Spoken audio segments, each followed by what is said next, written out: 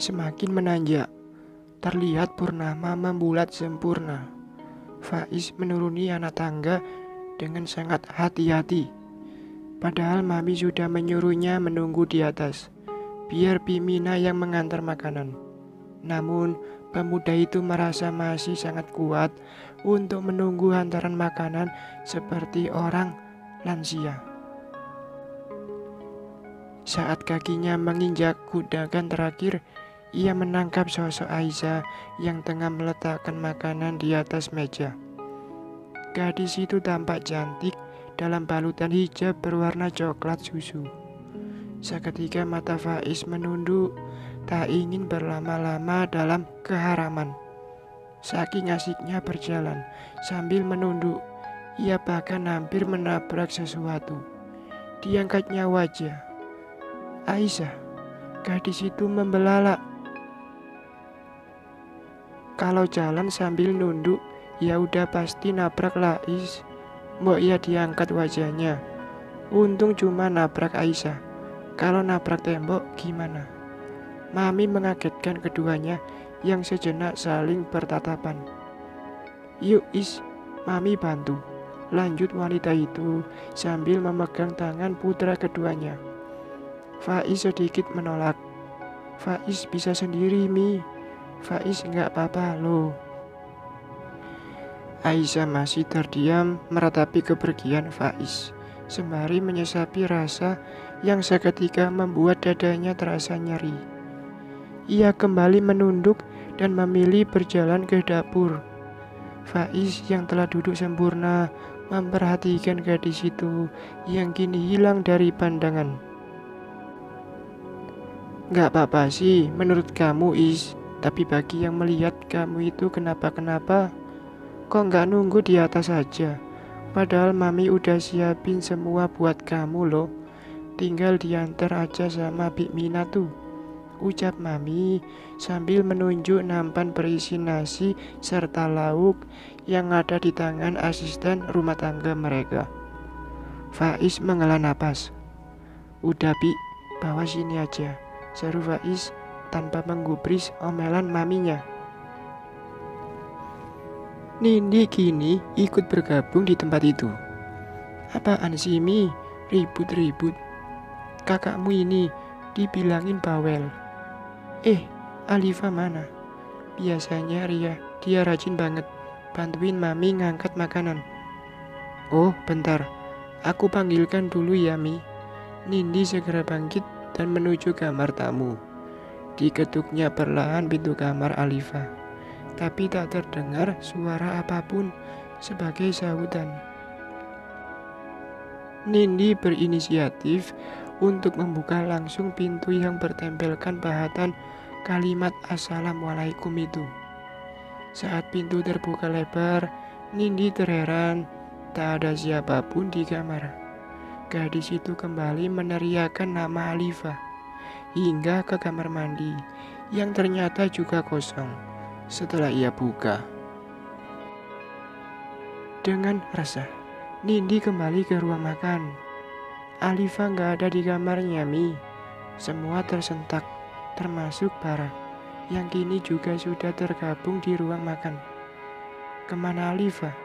Suara Bara terdengar pertama kali. Ia kelihatan begitu cemas. Gak tahu mas, kamarnya kosong. Loh, kok bisa kosong? Bukannya tadi sore masih ada. Lagi, para terlihat semakin cemas, melebihi kecemasan siapa pun yang ada di tempat itu. Dia teringat akan kejadian tadi pagi ketika dirinya mengunci Alifa dalam kamar dan meminta gadis itu untuk pergi dari rumah. Ya, tapi sekarang udah nggak ada mas. Di kamar mandi juga kosong.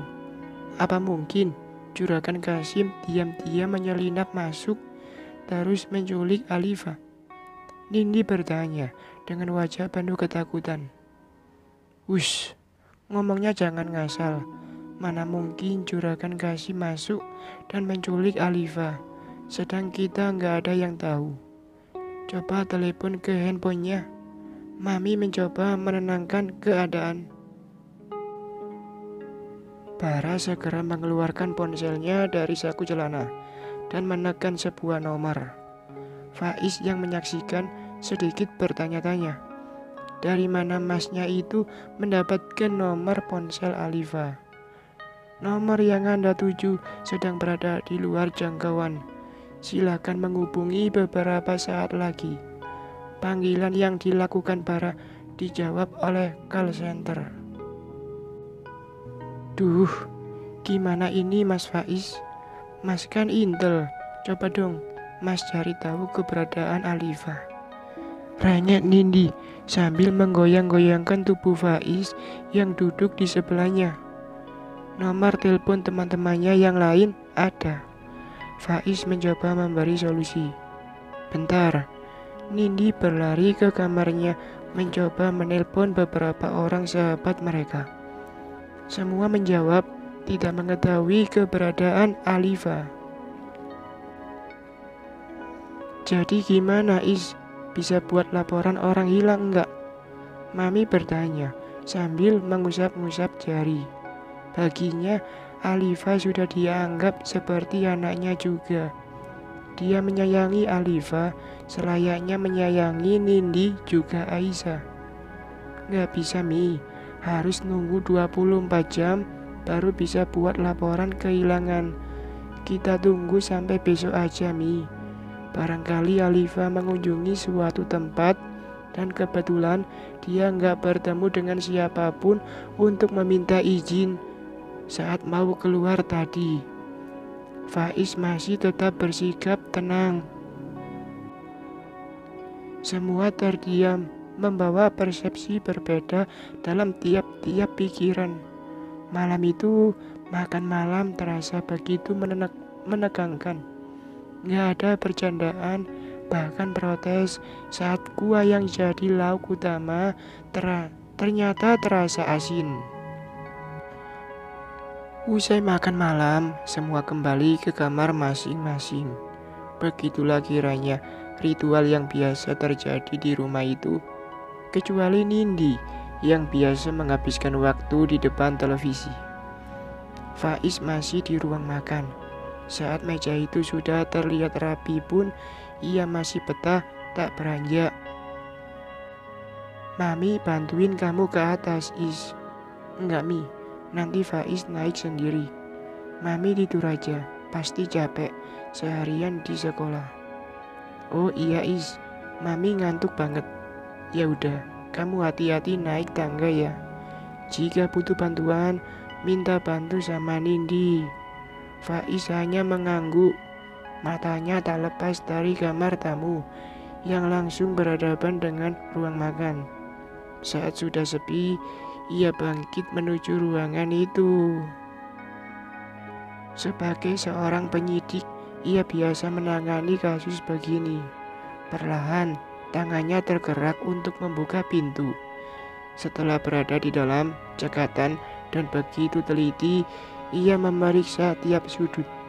Sepertinya insting pemuda itu berkata, Alifah meninggalkan suatu tanda di kamar. Saat tengah asik menyibak sebrai, matanya terbidik pada satu titik kertas putih yang hanya nampak ujungnya terletak di bawah lampu hias di atas nakas. Dengan segera, Faiz mengangkat lampu berbentuk mahkota itu. Netranya sedikit membelalak. Ternyata benar, ada sebuah surat. Faiz meraih kertas yang terlipat segi empat, lalu mulai membukanya. Tampaklah sebuah kartu kredit di dalam lipatan kertas itu. Yang membuat ia begitu terenyak bukan pada isi dalam surat itu, melainkan saat ia membaca sebuah nama yang tak asing. Tertulis di kartu tersebut, Alfi Sapara. Dek, jantungnya seketika bertabu kencang. Kenapa kartu kredit Mas Bara ada di kamar Alifa? Segera pemuda itu membaca pesan yang tertulis pada kertas di tangannya. Assalamualaikum Mas Bara Maaf mas Saya tidak bisa menerima semua kebaikan yang hendak Mas beri kepada saya. Perlakuan Mas tidak membuat saya merasa sedang ditinggikan, tapi merasa sedang dihinakan. Semua bantuan Mas itu sungguh tak pantas Mas beri kepada saya.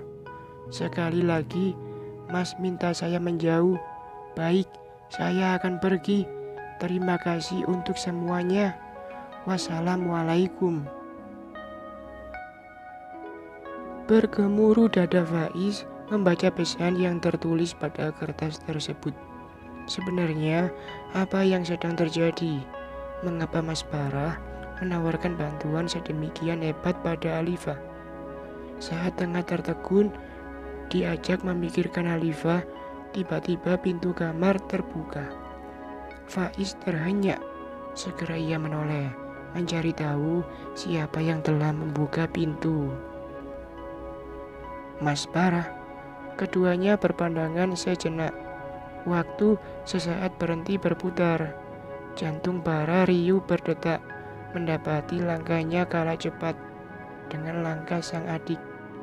Ia menyesal kenapa terlambat membaca pesan yang dikirimkan Alifa padanya sejak maghrib tadi. Harusnya semua ini masih tertutup rapat. Mas cari ini, seru Faiz yang membuat Bara harus menarik napas untuk meredakan gemuruh di dadanya. Kemarin Mas tanya sama aku apa hubunganku sama Aisyah. Sekarang giliran aku yang nanya sama Mas Bara. Apa hubungan Mas sama Alifa? Bara terhenyak dengan berusaha tetap tenang. Lelaki itu mendekati Faiz. Benar kamu mau tahu Is? Faiz merasa ada sesuatu yang menghujam dadanya. Sikap Bara membuat jiwanya ingin berontak.